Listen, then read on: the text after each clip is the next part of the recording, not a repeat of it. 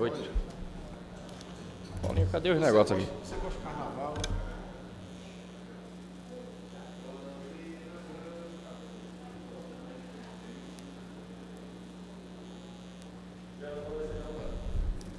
Tá. Amanhã.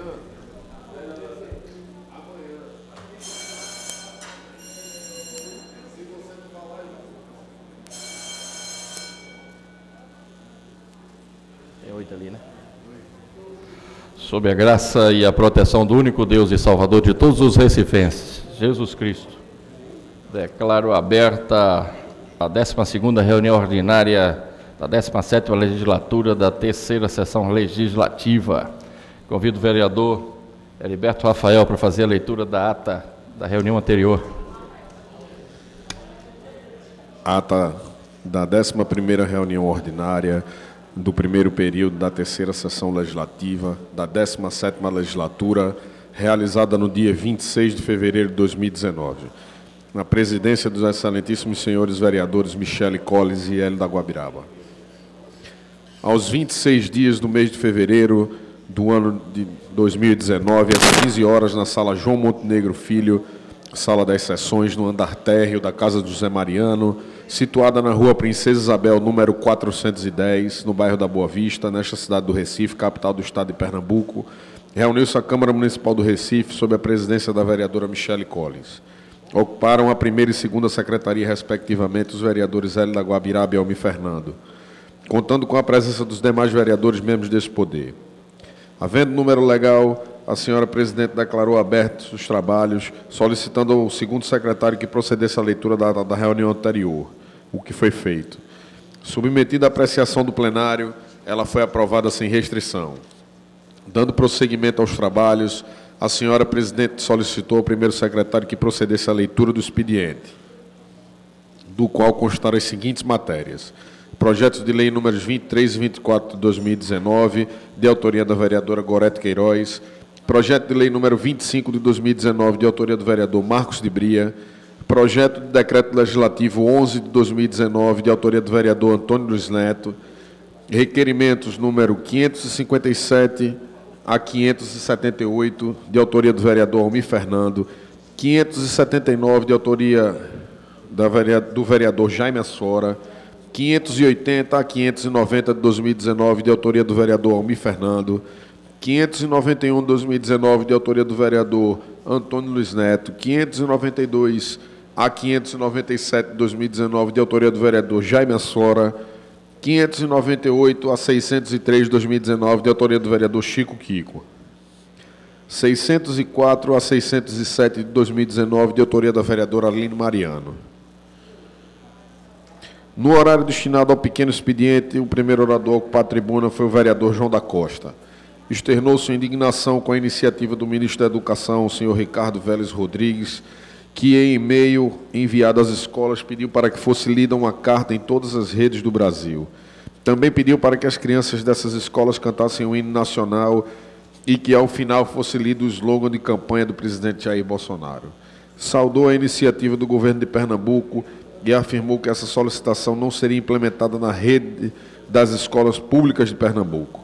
Informou também que ao início, ao final do dia, o Ministério reconheceu o erro, que trata de um crime de improbidade administrativa. O próximo orador para a tribuna, o vereador Ivan Moraes, também fez críticas ao ministro da Educação e disse que tem a certeza de que a Prefeitura do Recife jamais permitiria que as crianças fossem filmadas sem autorização dos pais dentro das escolas do Recife. Sugeriu aos alunos e professores que enviassem e-mails ao Ministério, ao Ministério da Educação e ao Gabinete da Imprensa, mostrando os problemas de infraestrutura das redes e dando depoimentos de como melhorar. A próxima oradora a ocupar a tribuna, a vereadora Gorete Queiroz, falou sobre o Eco Carnaval. Disse que existem diversas ações coordenadas pela Prefeitura do Recife para deixar a população com a possibilidade de fazer um carnaval colaborativo e sustentável.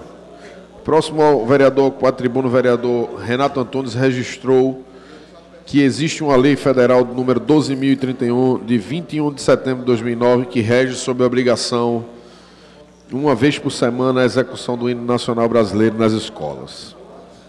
A próxima oradora a ocupar a tribuna, a vereadora Michele Collins, registrou que essa é a Semana Municipal de Conscientização das Doenças Raras, lei de número 18.507-2018, de sua autoria. Abordou o tema destacando as dificuldades enfrentadas pelas mães dessas crianças. Falou dos pequenos avanços para auxiliar essas pessoas. A senhora presidente determinou, segundo secretário, que procedesse a chamada regimental, oportunidade que foram registradas as presenças dos senhores vereadores membros desse poder.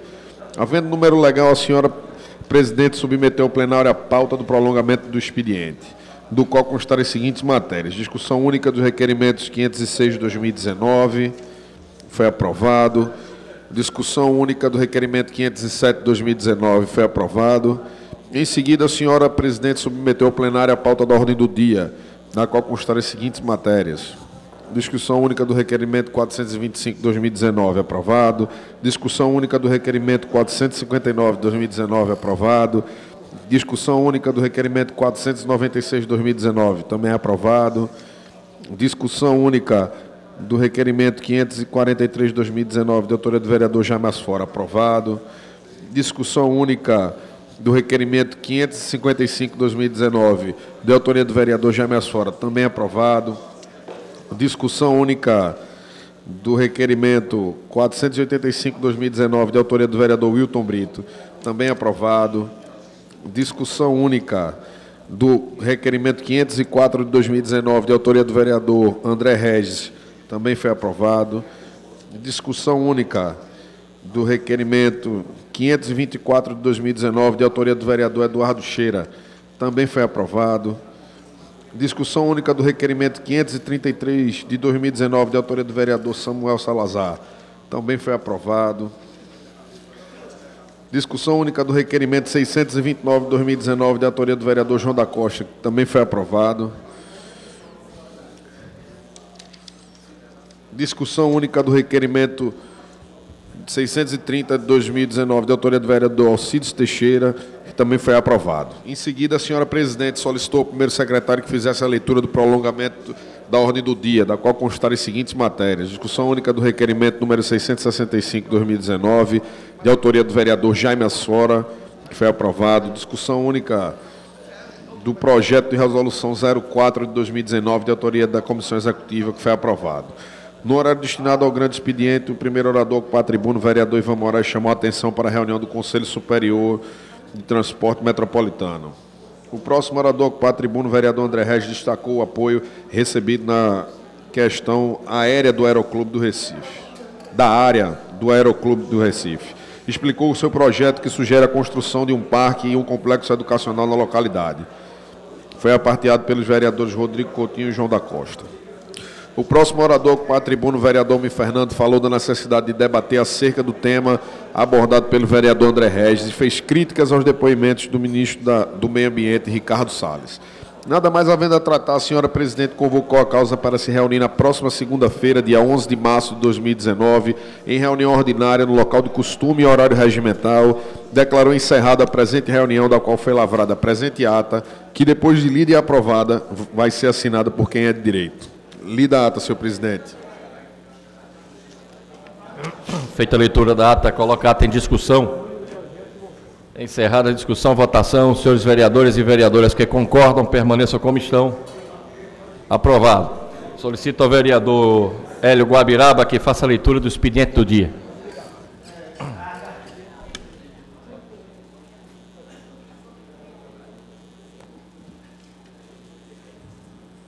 Projeto de Lei Ordinária número 26, barra 2019. Do vereador Rinaldo Júnior.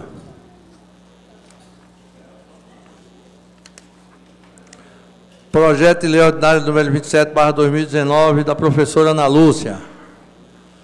Projeto de Lei Ordinária número 28, barra 2019, Benjamin da, do vereador Benjamin da Saúde. Projeto de Lei Ordinária número 29, barra 2019, do vereador Rogério de Lucas. Projeto de Lei Ordinária número 30, barra 2019, do vereador Samuel Salazar. Projeto de Lei Ordinária número 31, barra 2019, do vereador Rinaldo Júnior. Projeto de lei ordinária número 32, barra 2019, do vereador Rinaldo Júnior. Projeto de lei ordinária número 33, barra 2019, do vereador Jaime Asfora. Projeto de lei, pro, projeto de resolução número 5, barra 2019, do vereador Jaime Asfora. Feita a leitura, senhor presidente. Feita a leitura do expediente, nesse momento encerro o expediente inicial e dou início ao pequeno expediente, convidando a primeira vereadora inscrita, vereadora Aimee Carvalho. Vossa Excelência tem cinco minutos.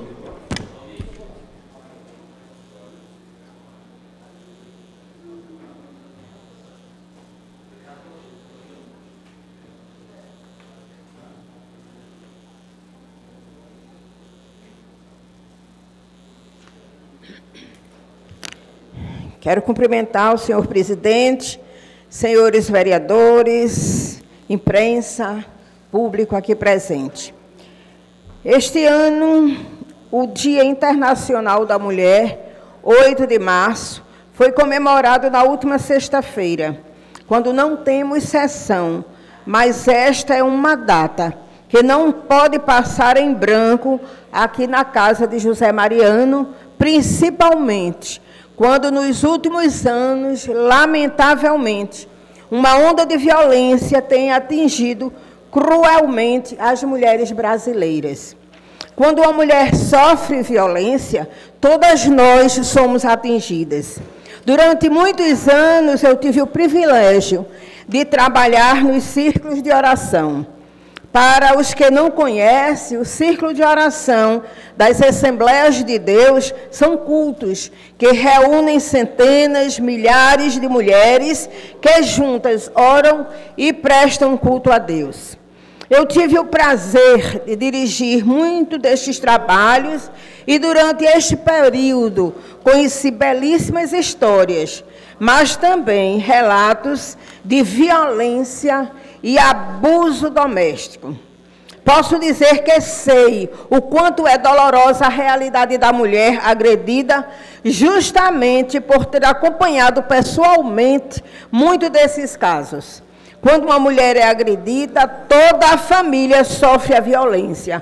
Os filhos guardam marcas, não apenas físicas, mas muitas vezes marcas psicológicas que ficarão para sempre na memória de quem viu alguém tão amada ser violentada. É exatamente por motivo como este que o Dia Internacional da Mulher não pode passar em branco, porque este dia é somente uma lembrança de que nós mulheres precisamos ocupar os nossos espaços o tempo todo, não apenas no dia, um dia no ano. A dona de casa, a que cuida do lar, a empregada doméstica, a vereadora, a juíza, a jornalista, a quem não tem profissão, a quem escolheu cuidar da família. Todas elas, todas nós mulheres, temos o nosso valor. Todos os dias são nossos. Todo dia é dia de acordar e vencer as batalhas que a vida nos impõe. E nós fazemos isto muito bem, modéstia à parte. Somos, senhoras vereadoras, senhores vereadores, minhas amigas mulheres. Na última sexta-feira li uma notícia chocante. Um homem foi preso em flagrante por estuprar a sogra uma idosa de 101 anos, no município de Pombos, na zona da mata de Pernambuco.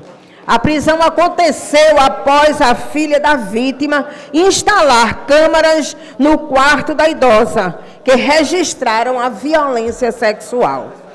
Ele confessou o crime aos policiais. A prisão aconteceu na quinta-feira e a notícia veio à tona justamente no Dia Internacional da Mulher.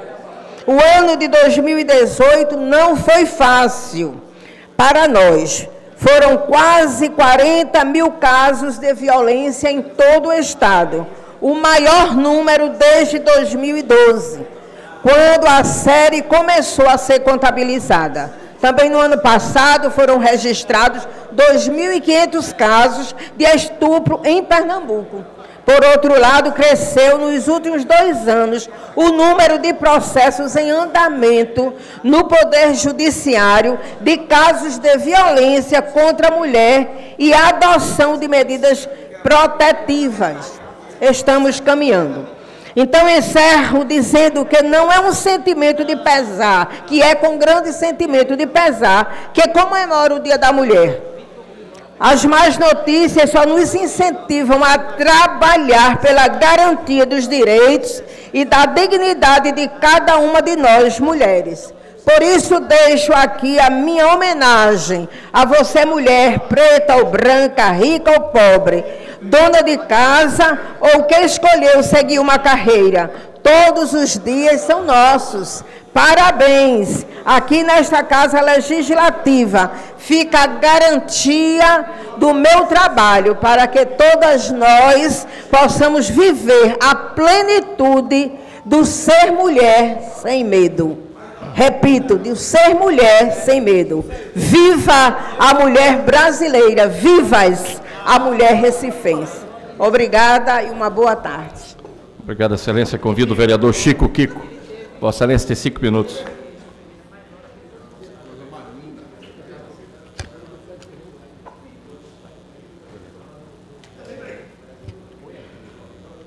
Boa tarde, senhor presidente, imprensa e público que ocupa a galeria. Subo à tribuna nesta segunda-feira para mais uma vez reforçar com todos vocês que nós, vereadores de, do Recife, estamos aqui como representante do povo. Merecemos respeito. Diariamente res, é, recebo as demandas da população e cobramos do Executivo melhorias. O ex-secretário de Educação do Recife, Alexandre Rabelo, sempre nos recebeu em seu gabinete. Como assim o prefeito Geraldo Júlio que nunca se negou a, participar de reunião conosco. Muito atencioso. O ex-secretário fazia de tudo para atender nossas demandas.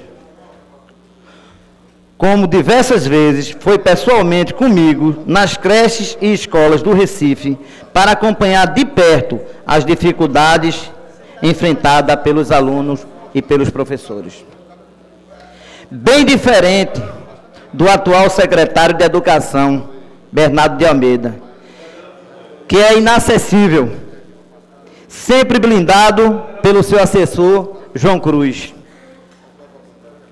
Como representante do povo recifense, peço mais uma vez ao secretário que nos receba e escute os vereadores desta casa. Várias vezes entramos em contato até com o próprio secretário, e ficamos sempre na espera de um retorno. Centenas de crianças de creches e escolas na zona oeste do Recife ficaram sem matrícula, por falha do novo gestor. Apesar de ser da base, subirei a esta tribuna quantas vezes for preciso para também criticar.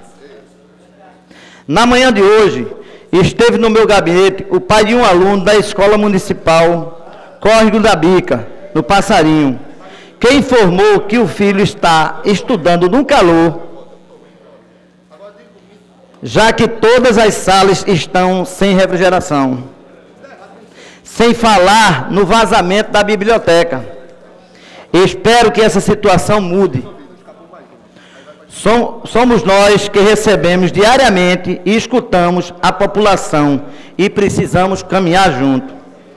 Agradeço a atenção de todos e uma boa tarde.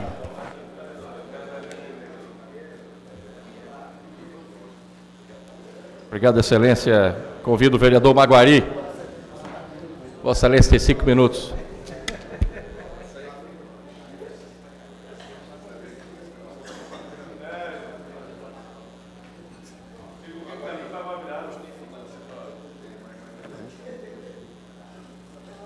Senhor presidente, senhoras, senhoras vereadoras, senhores vereadores, O vereador que me, que, que me antecedeu aqui, Chico Kiko, falou, cidadão não sei o que cruz, não vem? É uma cruz pesada para você, viu? Andar com essa cruz. É por isso que a situação está bem difícil. Mas, quando você se reportou às escolas, né, eu me lembrei do vereador André Regis, que sempre debate nessa casa a questão das escolas. E eu até me lembro de uma frase que André Regis falou o ano passado. Ele elogiou o prefeito Geraldo Júlio, quando Geraldo Júlio colocou 500 placas na cidade do Recife, e o vereador André disse que foi um serviço bem feito, um trabalho é, de estrutura, de permanência, de eficiência, né? E também tem aqueles momentos que ele fala, né, reivindicando a melhoria nas escolas. E a crítica, quando ela é construtiva, vereador André, ela ajuda a gestão. A gente não pode aqui usar a tribuna e fazer uma crítica que ela não seja verdadeira, seja uma crítica caluniosa, isso não pode. Agora, a crítica construtiva ajuda a gestão. Mas, senhores vereadores e vereadoras, eu quero, eu estou ocupando a tribuna esta tarde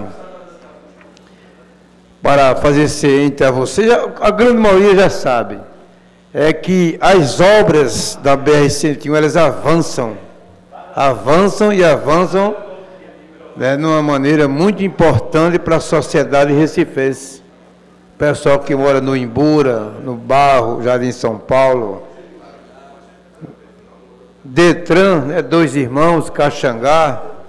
Né, a gente sabe que toda aquela via está sendo beneficiada pelas obras realizadas na BR-101. São obras importantes que a economia da nossa cidade, do nosso estado, ela melhora muito. E a gente sabe que toda a sociedade recifense, no eixo da, da Zona Norte e Zona Sul, está sendo beneficiada com as obras.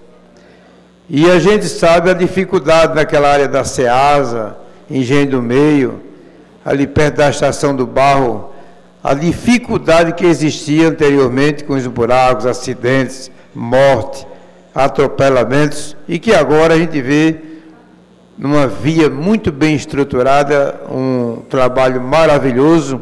Isso é muito importante para uma cidade, né, para um estado, para um país, onde cuidas das estradas. A gente sabe que lá, o Sudeste, né, a gente viu na, ultimamente, os carros, as carretas, mais de 500 carretas encalhadas, sem poder né, trafegar naquela via e com muito material que serve para a sociedade. E a gente sabe que tudo isso que vem acontecendo nas estradas do nosso país, a dificuldade foi a questão dos desvios de de verbas públicas. As verbas dos ministérios do transporte teve grandes desvios e a gente sabe que isso prejudicou o povo brasileiro. Mas aqui em Pernambuco a gente sabe que os 180 milhões que estão sendo empregados na BR-101, ela vai trazer um retorno muito importante para o povo da nossa cidade. Muito obrigado, senhor presidente. Obrigado, excelência. Convido o vereador Herto Luna. Vossa excelência tem cinco minutos.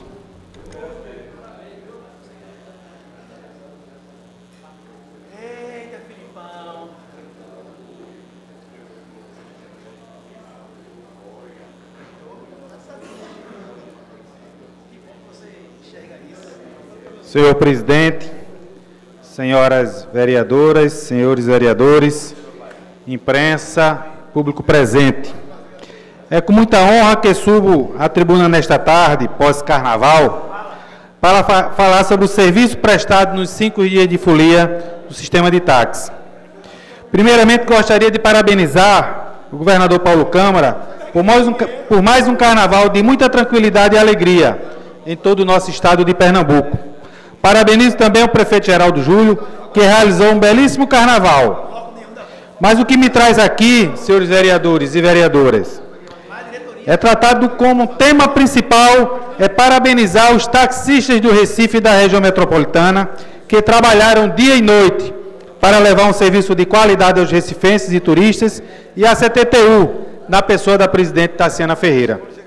Os taxistas do Recife Região Metropolitana fizeram um excelente trabalho, abrilhantando ainda mais, mais o nosso carnaval e levando tranquilidade e agilidade na ida e na volta da folia. A Autarquia de Trânsito e Transporte, a CTTU, preparou uma grande operação para garantir a mobilidade dos foliões durante o Carnaval de 2019 e, com esforço conjunto, prestaram um grande serviço. Como nos anos anteriores, tivemos convênio do táxi metropolitano, que garantiu o aumento da frota de táxi com os municípios de Olinda, Jaboatão, São Lourenço, Camaragibe, Paulista, Abreu e Lima, Igaraçu, Cabo de Santo Agostinho, além do Recife. Dessa forma, a frota dos oito municípios somadas aos 6.126 táxis do Recife teve um aumento, um incremento de 50% na oferta de táxis da região metropolitana,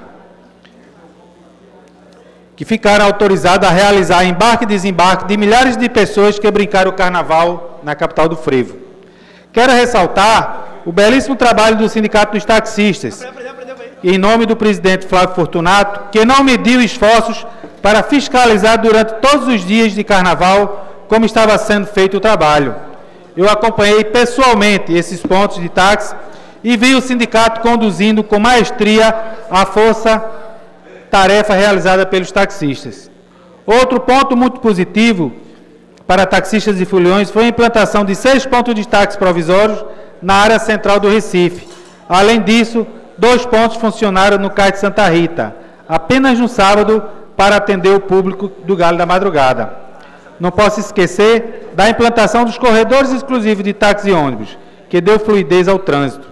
Os recifenses e turistas que solicitaram táxi receberam serviço de qualidade, mostrando que, com organização e compromisso, a categoria exerce um excelente serviço. Imprevistos acontecem, mas fica a certeza que cada ano os motoristas estão se esforçando para que as reclamações não tenham espaço nos dias de folia de Momo pela Central de Atendimento da CTTU, que funcionou durante 24 horas, da sexta à quarta-feira de cinza, foram recebidos só seis denúncias contra os taxistas. Isso, você colocando em consideração a quantidade de viagens e veículos que trabalharam, basicamente não existiu. E houve uma redução de 50% do ano passado. O ano passado foram 12 e esse ano 6 e a reclamação mais incidente foi a recusa de passageiros. Por fim, parabenizo todos os taxistas da região metropolitana e do Recife que abdicaram de, dos seus dias de folga com a família, que não brincaram o carnaval para atender bem os recifenses e turistas. Um esforço conjunto que resultou no ir e vir tranquilo da população que venha o carnaval de 2020. Muito obrigado, senhores vereadores. Obrigado, excelência. Convido o vereador André Regis. Vossa Excelência tem cinco minutos.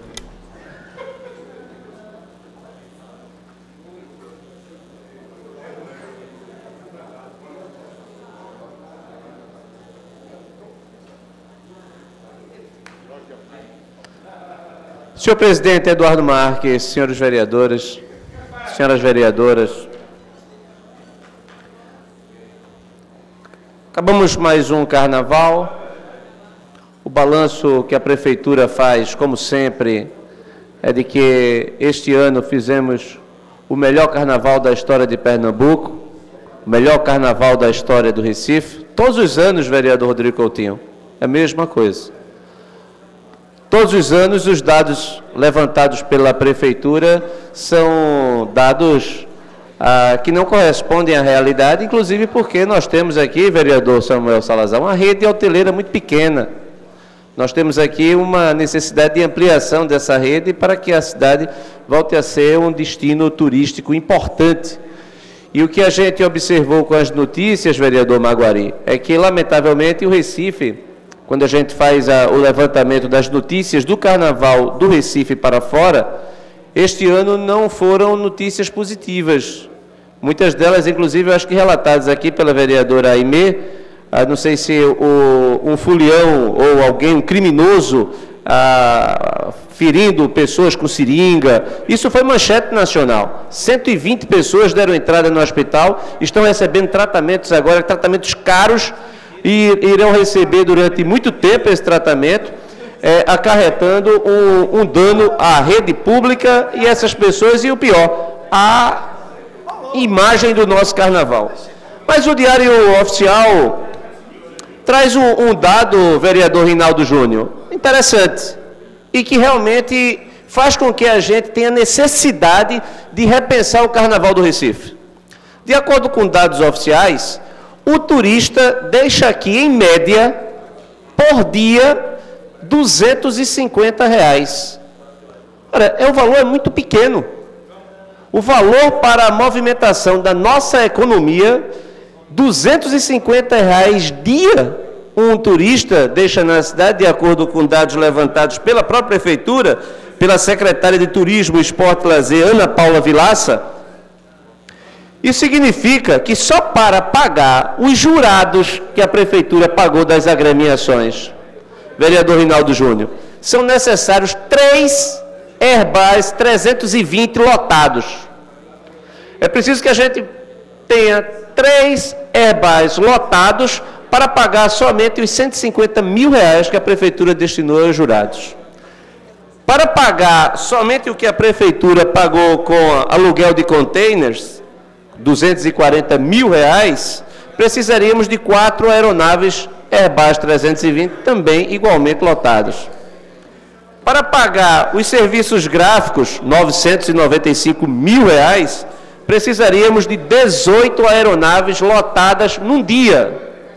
Para pagar as agremiações, os desfiles, precisaríamos de 43 aeronaves lotadas. Ora, o que eu chamo a atenção é o seguinte: tem alguma coisa errada. Nós estamos atraindo turistas e os turistas não estão gastando? Alguma coisa errada. Mas quando a gente passa o período carnavalesco e a gente encontra a cidade completamente fechada, os bares, os restaurantes que não sejam do circuito, está tudo fechado. Os shopping centers da cidade, todos fechados. A cidade, ela não aproveita economicamente a folia. Ela não aproveita. Se você visitar o shopping center, eu estou vendo aqui que o líder do governo não estão abertos. Abre somente no sábado, você vai lá, é somente praça de alimentação e é, cinema, lazer. Todo o comércio fechado, inclusive os empresários, os pequenos empresários que têm que pagar a conta do final do mês, com a retração da economia, tem absoluta dificuldade. Ou seja, nós não estamos parando para pensar do ponto de vista da gestão da festa. E isso em decorrência da prefeitura não fazer o trabalho. Quem deveria fazer o trabalho de, inclusive, uma consultoria séria para saber como nós deveríamos atrair turistas, o turista ficar, o turista gastar. Porque simplesmente do jeito que está repetindo e a prefeitura repetindo, o prefeito a cada ano dizer que essa foi a melhor festa que nós fizemos, 250 reais de gasto por turista por dia, é porque o turista, ele ou ele não gasta, ou esse número está equivocado. Mas na verdade é porque a cidade ela não está aproveitando economicamente uma grande oportunidade. Lamentavelmente, os gastos com o carnaval, senhor presidente, para concluir, eles cada ano eles não dão o retorno devido por conta de uma má gestão da festa. Muito obrigado. Convido o vereador Almir Fernando. Vossa Excelência, pela ordem. Pois não, Excelência. Gostaria, senhor presidente, de, em tempo adequado, solicitar um minuto de silêncio eh, em lembrança do ciclista César Felipe, que foi atropelado hoje enquanto pedalava eh, na ponte João Paulo II, um lugar em que desde 2014 deveria haver uma estrutura cicloviária. Então gostaria que a gente lembrasse a vida desse ciclista através de um minuto de silêncio, por gentileza. Pois não, Excelência, no momento oportuno uh, faremos o que Vossa Excelência pediu. Pois não, Excelência, cinco minutos. Senhor presidente, senhores vereadores, senhora vereadora Gorete Queiroz, todos presentes, boa tarde. E, com relação ao carnaval, acho que merecia, vereador André Reis, um debate até no grande expediente aqui. O vereador Jairo Brito está ali se coçando para poder debater com o senhor a questão do carnaval. Né? E com relação a, ao secretário de Educação, estava falando até com o vereador Chico, que se pronunciou aqui anteriormente, primeiro secretário Romerino.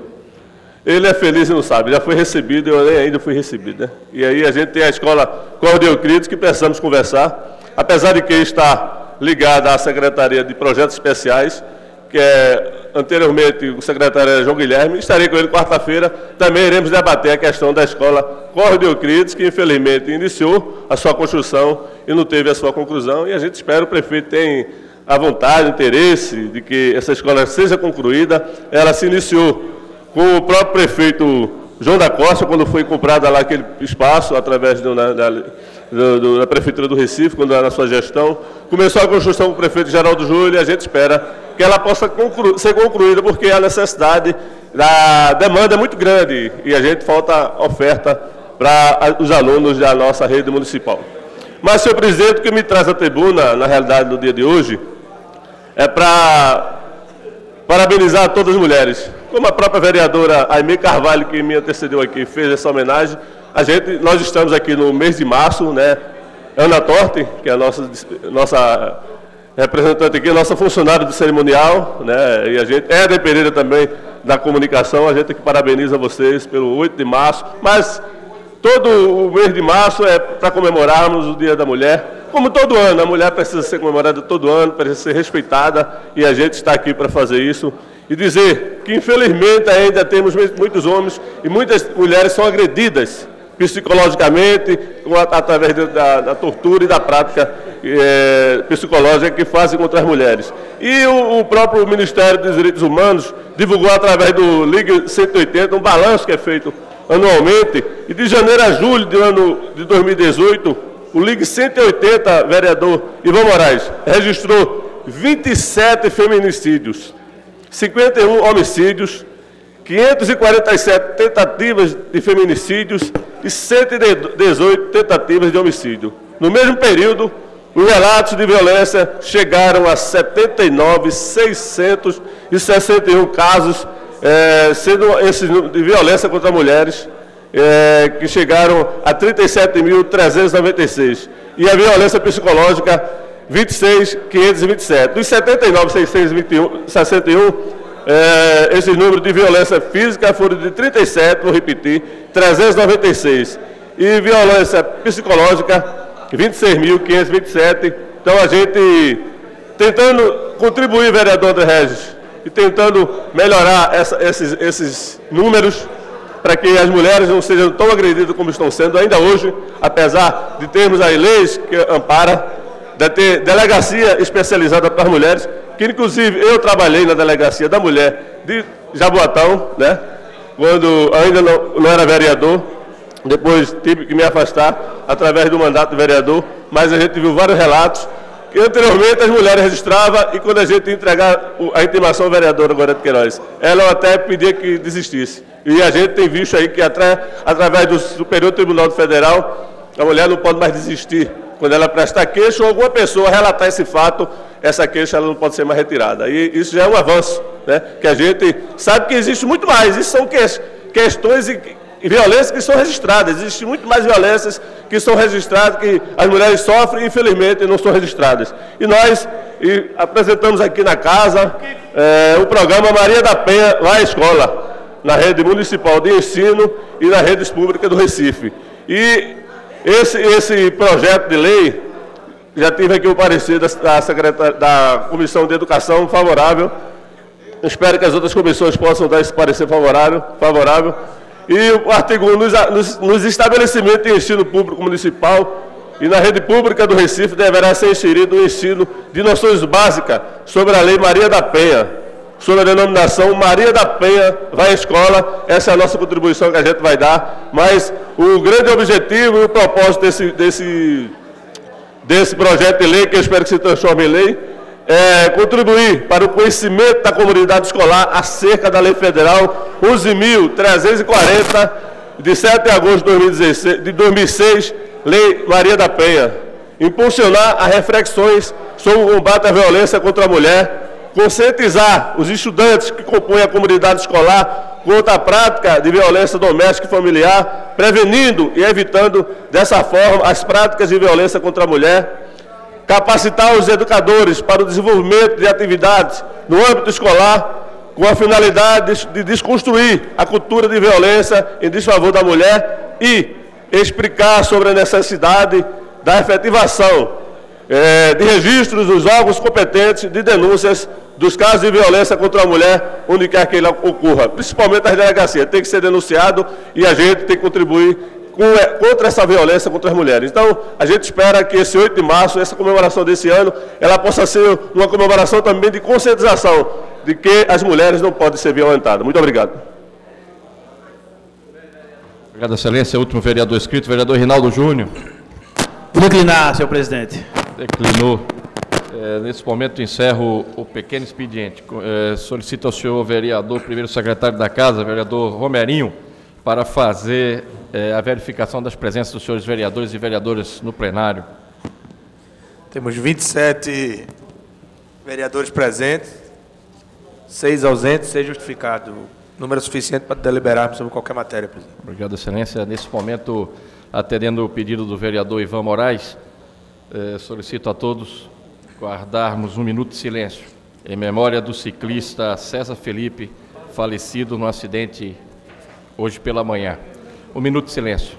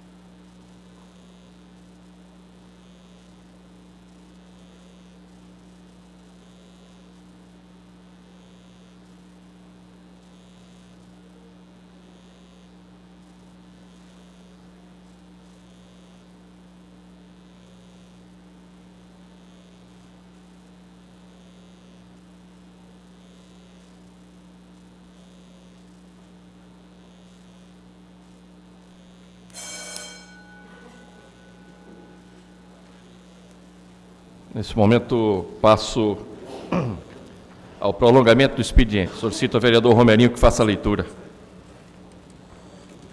Prolongamento do expediente, 12ª reunião ordinária, 17ª legislatura, terceira sessão legislativa. Discussão única dos requerimentos números 587, 588, 2019, todos de autoria do vereador Mi Fernando. Coloco todos em, em discussão. Encerrar a discussão, votação, os senhores vereadores e vereadoras que concordam permaneçam como estão. Aprovados. Discussão única dos requerimentos 591, 626 de 2019, todos de autoria do vereador Antônio Luiz Neto. Coloco todos em discussão. Encerrada a discussão, votação, os senhores vereadores e vereadoras que concordam permaneçam como estão. Aprovados. Encerrado o prolongamento do expediente, passa a ordem do dia. Solicita a Vossa Excelência que faça a leitura. Discussão única dos requerimentos 557, 558, 559, 560, 561, 562, 563, 564, 565, 566, 567, 568, 569, 570, 571, 572, 573, 574, 575, 576, 577, 578, 580, 581, 582, 583, 584, 585, 586, 589, 590, 610, 611, 612, 613, 614, 615, 616, 617, 618, 619, 620, 621, 622, 623 2019. Todos de autoria do vereador, dono da pauta, Almir Fernando. Coloco todos em discussão. Encerrar a discussão, votação, senhores vereadores e vereadoras que concordam, permaneçam como estão.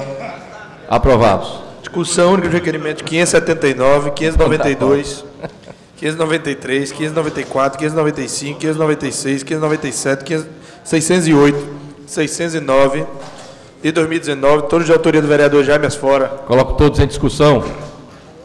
Encerrada a discussão, votação. Senhores vereadores e vereadoras que concordam, permaneçam como estão. Aprovados. Discussão única dos requerimentos 598, 599, 600, 601, 602, 603 e 624 2019, todos de autoria do vereador Chico Kiko. Coloco todos em discussão.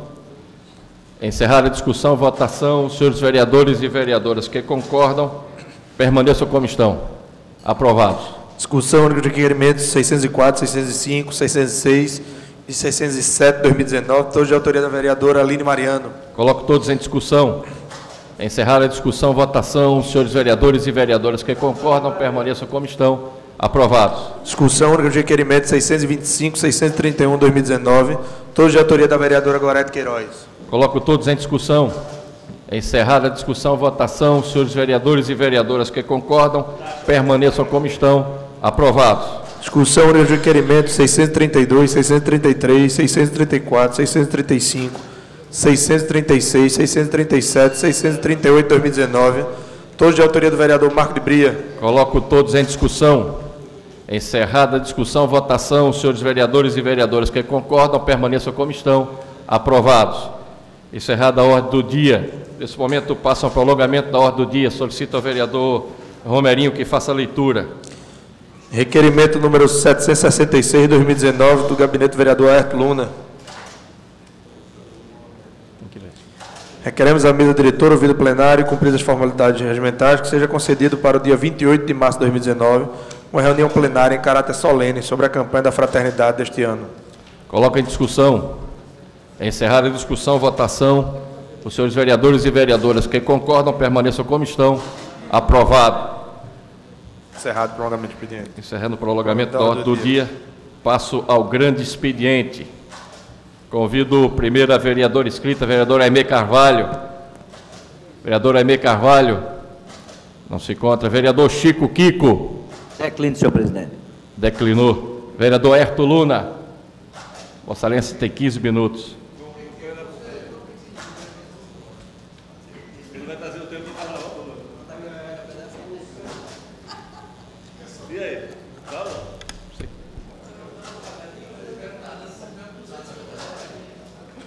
250 reais ao primeiro táxi. É, velho.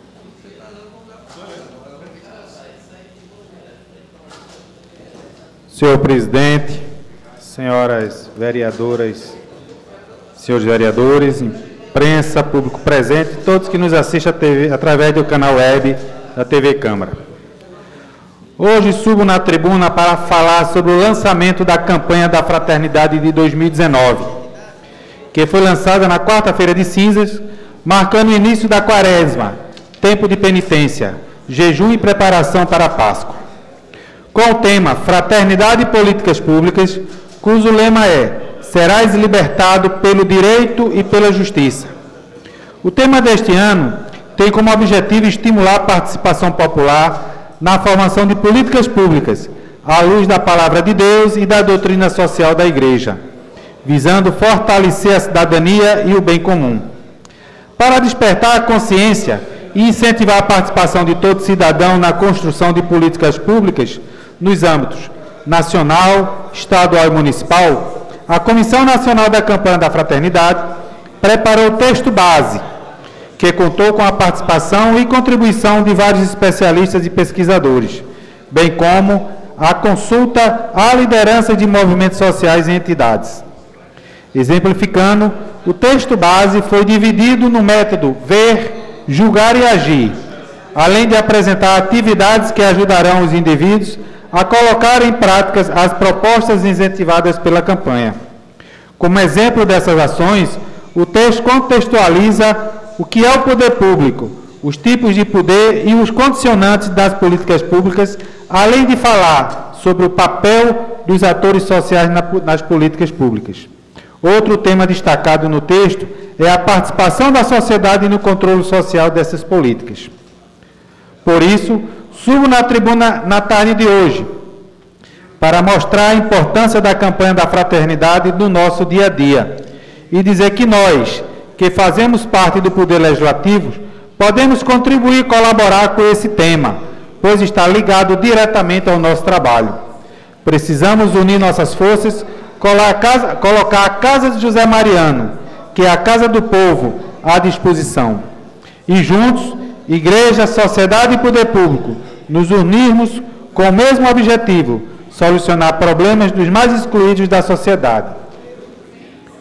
Como foi colocado hoje o requerimento, será feita uma sessão solene para discutir a campanha da fraternidade nesta casa.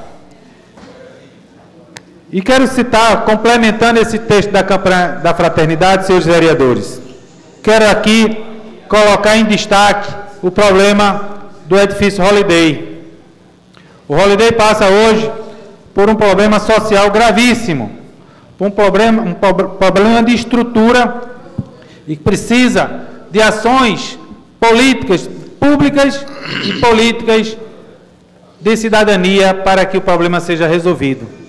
Então, senhor presidente, para esta casa acompanhar o que está sendo solucionado diante do, do que a gente está assistindo aí na, na imprensa e nos meios de comunicação, queria solicitar a Vossa Excelência que criasse uma comissão especial para essa casa acompanhar o que é que está sendo feito através do poder público e o que é que está sendo feito através também das empresas coligadas e das empresas privadas. Então, eu gostaria muito que essa casa participasse e tivesse o seu papel né, diante desse acompanhamento do que está acontecendo no, no Holiday.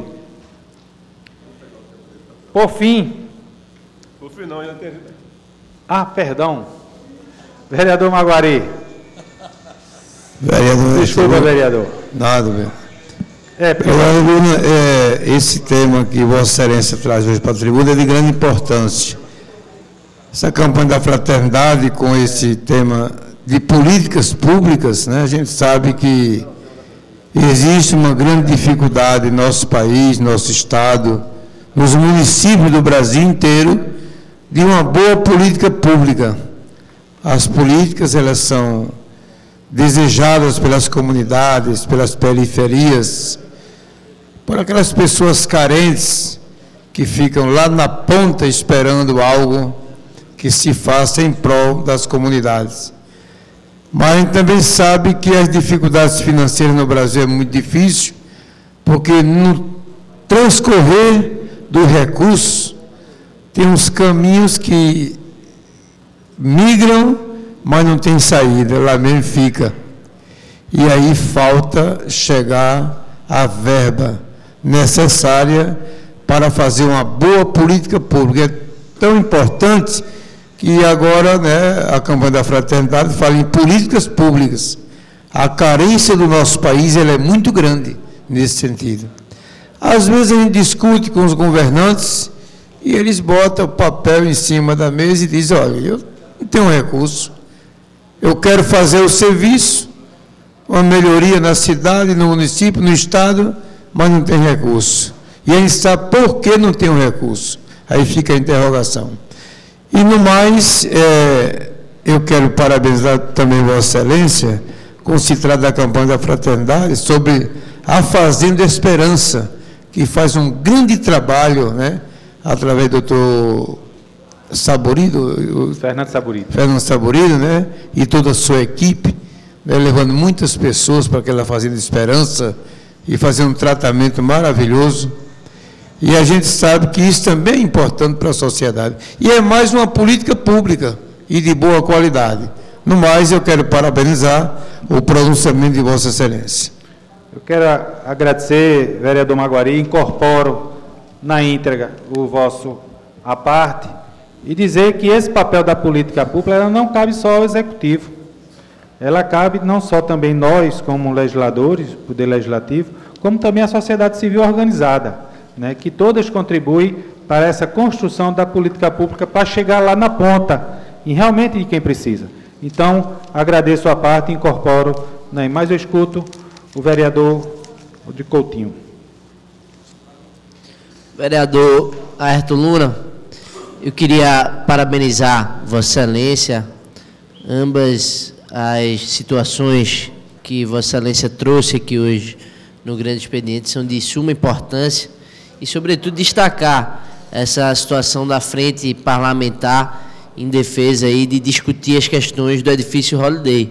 O edifício Holiday que é do ano de 56, 1956, ou seja, um, um edifício histórico para Boa Viagem, apesar de não ser tombado, é um edifício que participou das diversas situações de crescimento daquele bairro, situações importantes em que a gente teve o Holiday na vida de Boa Viagem, na vida dos recifenses. Destacar também que eles vêm enfrentando diversas diversas situações junto ao poder público, como a que Vossa Excelência colocou, e que precisa de alguma forma ser resolvido.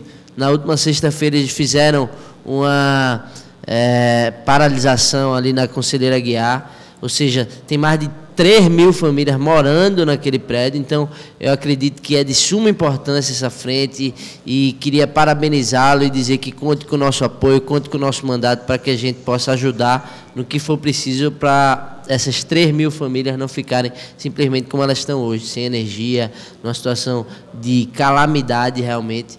E queria parabenizar Vossa Excelência.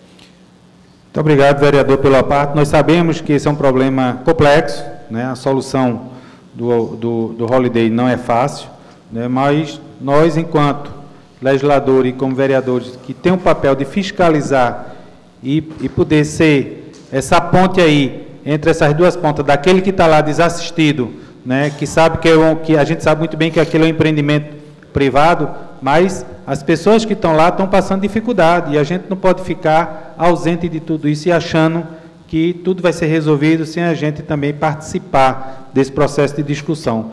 Porque quando vier né, o, o, o, o caos, quando acontece o, o incêndio ou um desabamento, aí aparece todo mundo querendo ajudar. E por que não ajudar antes que aconteça?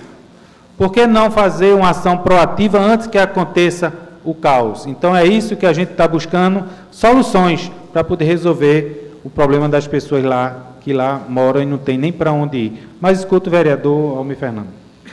Vereador Lula, começar, como todos, iniciar parabenizando Vossa Excelência pelos dois temas que Vossa Excelência trouxe ao debate nesta casa na tarde de hoje.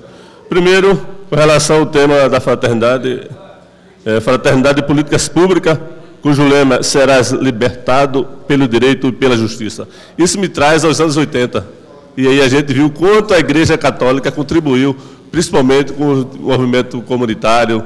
É, e a gente tem um exemplo, um grande exemplo, a Associação de Moradores da Alza Bonifácio, a sua sede foi uma contribuição da Igreja Católica, quando ele conseguiu recursos do exterior para que se comprasse aquela sede. Então, quantas e quantas outras entidades e associações de moradores, conselho de moradores, não foram é, construídas e criadas com a ajuda da Igreja Católica? Então, isso me traz também uma esperança muito grande, esse tema é de que a igreja ela possa também participar, ajudar, contribuir, mais do que ela já tem contribuído. E quando ela vem com um tema desse, me traz uma esperança muito grande.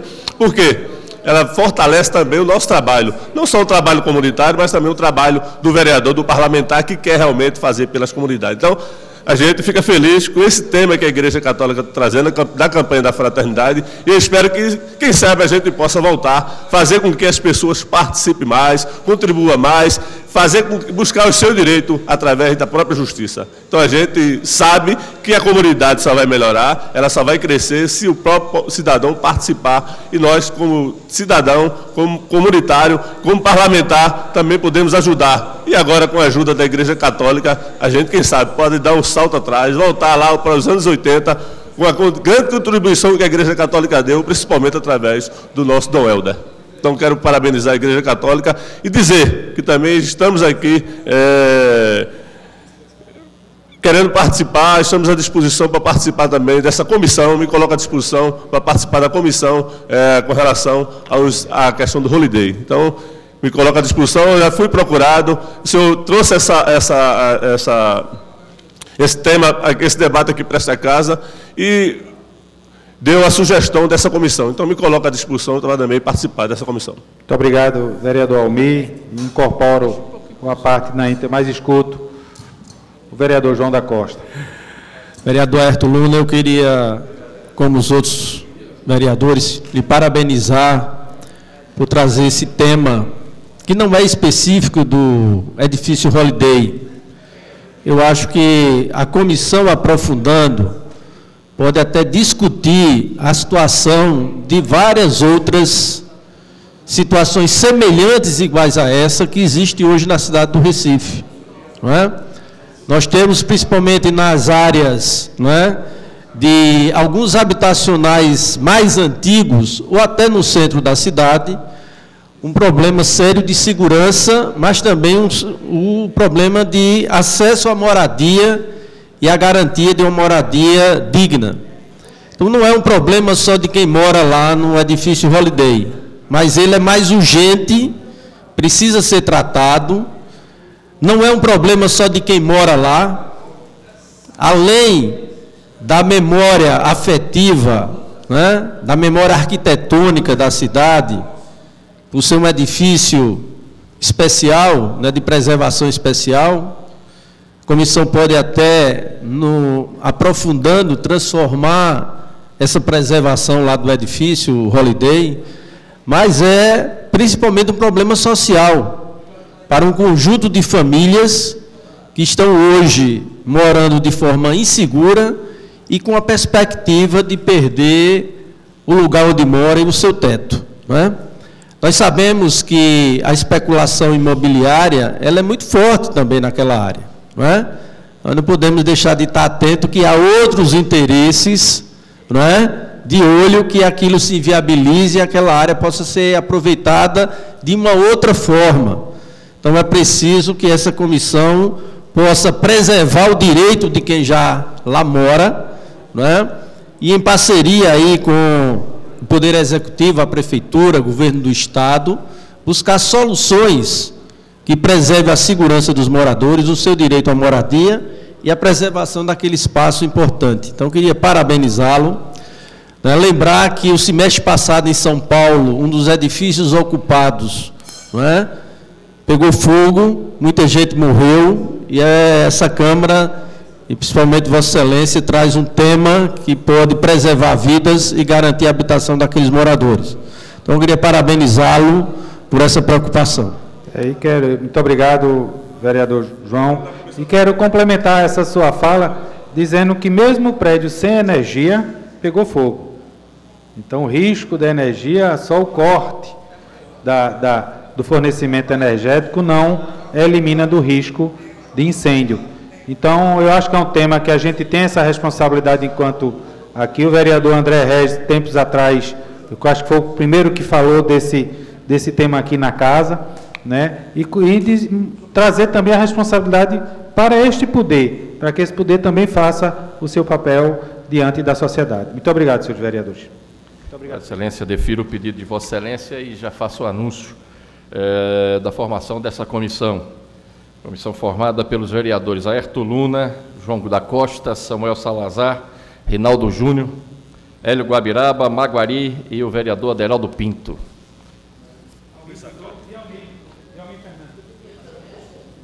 Não, aqui já tem os sete, mas aí a gente vê. Né? Vamos sacar alguém para mudar. É. é, continuo o grande expediente. Convido o vereador, o último vereador inscrito, o vereador Ivan Moraes. Vossa Excelência tem 15 minutos.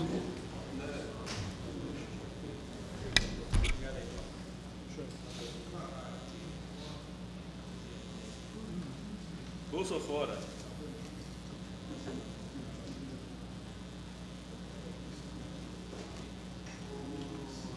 Ai, ai, ai.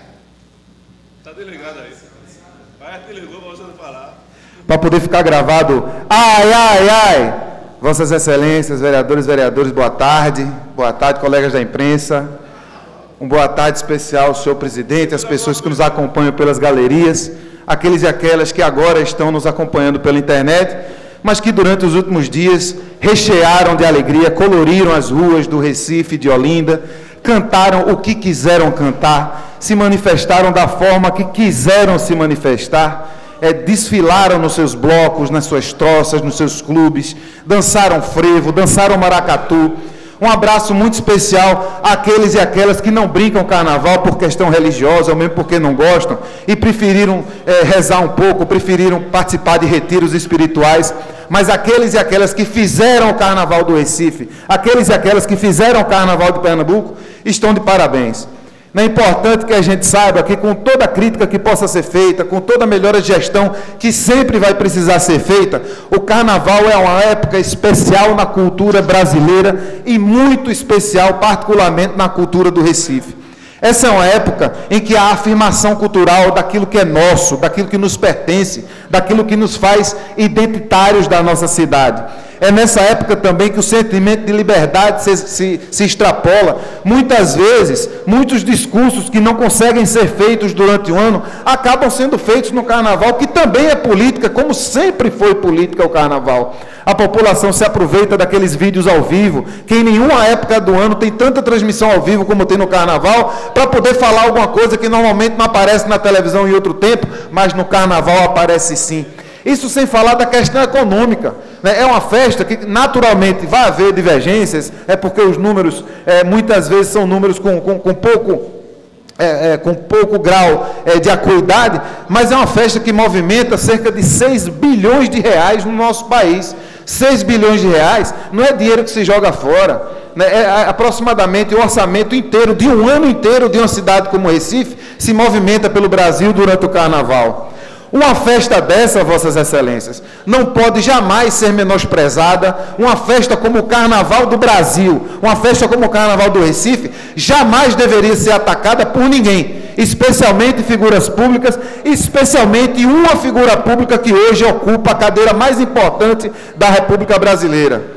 Não um sujeito que não se pronunciou hora nenhuma sobre o carnaval, um sujeito que passa o tempo inteiro é pensando em sacanagem, pensando em coisa ruim, pensando no ódio, pensando no desamor. Na hora que vai falar do carnaval, ele é, tuita um vídeo que recebeu, sabe-se lá de quando, né, de um ato é, sexual polêmico, né, que é o, o Golden Shower, que ninguém no Brasil conhecia, até o presidente publicizar né, fez com que é, a busca nos sites pornográficos por Golden Shower chegasse a aumentar mais de 600%. Então, a figura que não gosta do carnaval, como qualquer rei mal coroado que não admitiu o amor em seu reinado, pois sabia não ia ser amado. Agora a gente não sabe ou sabe que essa sacanagem toda, essa exposição toda do presidente da República atacando o carnaval, eu vou dizer logo, não ataque o carnaval não, Vossa Excelência, viu, senhor presidente que está ouvindo aqui? Você pode atacar quem você quiser, você anda atacando jornalista, você anda atacando professor, você anda atacando professor e professor universitário. A mobilização não tem sido tão grande no Brasil ainda. Mas ataca o carnaval para você ver. O carnaval é a verdadeira união do campo democrático brasileiro.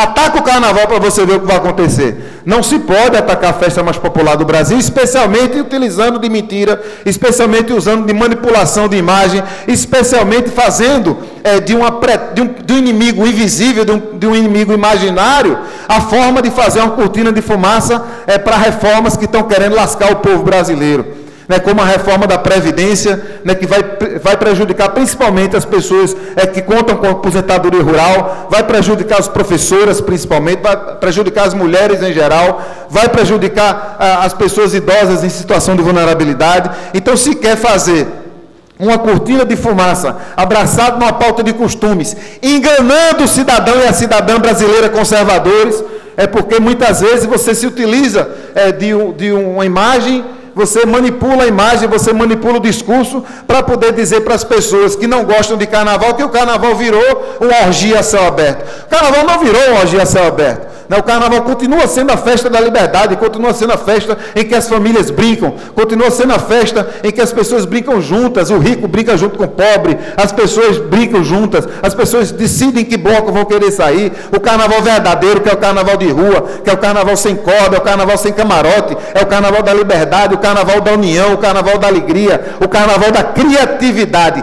Este carnaval jamais poderá ser atacado por governo nenhum, principalmente quando se quer fazer cortina de fumaça para a reforma da Previdência e agora, para o projeto de emenda constitucional que está sendo tramado pelo ministro Paulo Guedes, que quer acabar com as vinculações da Receita da União. E eu vou dizer o que isso quer dizer, porque quando a gente fala desvinculação de Receita da União, muita gente não entende o mal que isso pode causar.